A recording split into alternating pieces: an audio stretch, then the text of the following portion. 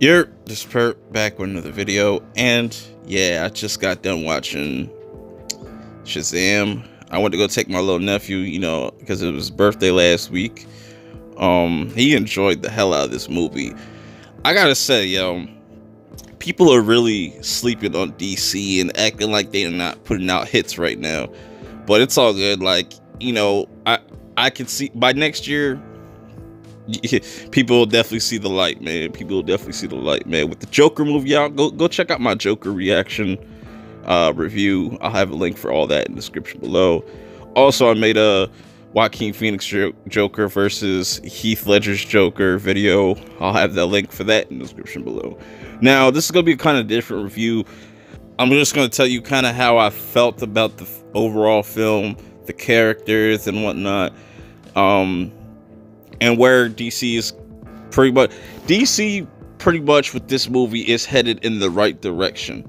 This is a good direction for DC, you know. Um they knocked it out of the park with Wonder Woman. They knocked it out of the park with Aquaman. Now they have another hit with Shazam. And the Joker movie comes out later on this year. And yo, Marvel is really lucky that they didn't really drop fucking Wonder Woman 84 because that would really expose them. Really expose them.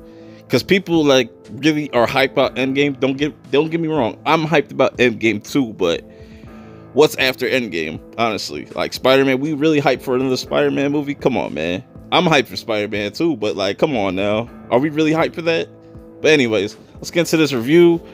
This is starring Zachary Levi, and let's let, let's let's knock that one out first, right? Zachary Levi at playing Billy Batson, well, Shazam.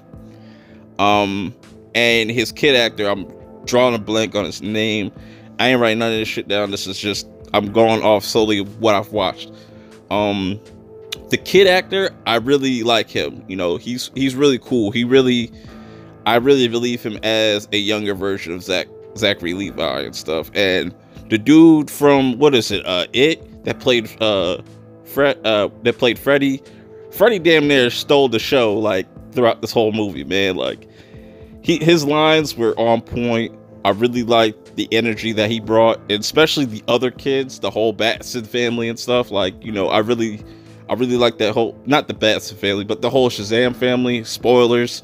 Um I really like how they do that. That was really cool. Um this just feels like a completely different like type of superhero movie. It felt familiar, but I really enjoyed what they did with the characters.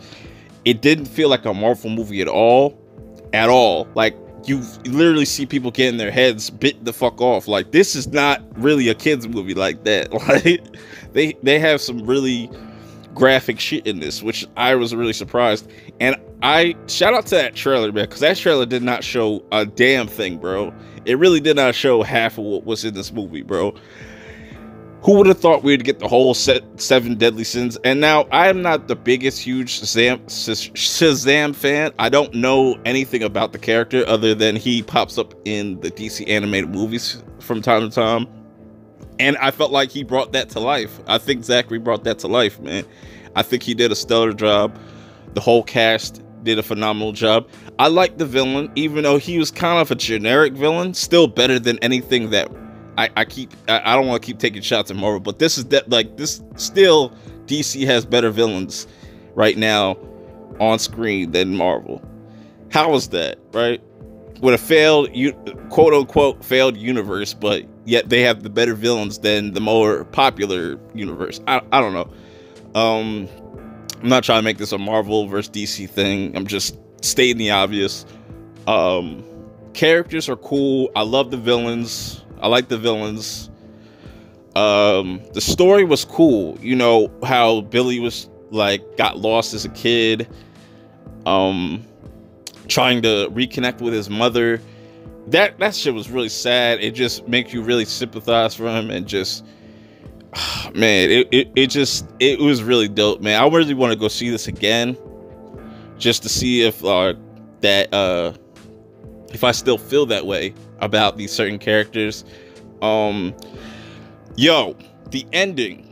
I don't really want to spoil fuck it. I already spoiled most of it, but you know, when they show off the Shazam family, um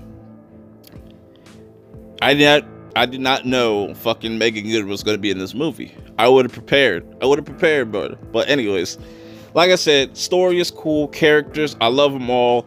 This this kind of feels like DC's version of Spider-Man a little bit. You know, this is going to be what draws the kids in and just adults. And this is a very now it, it's a very um it's a very good good film because not only does it you know it doesn't just cater to one demographic you know anybody can watch this pretty much.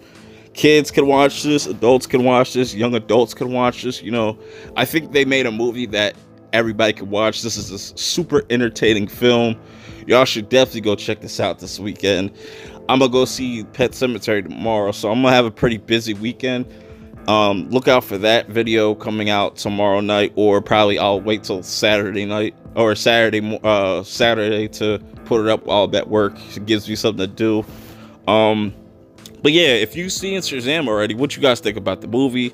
If you haven't seen it, go see it. I'm out.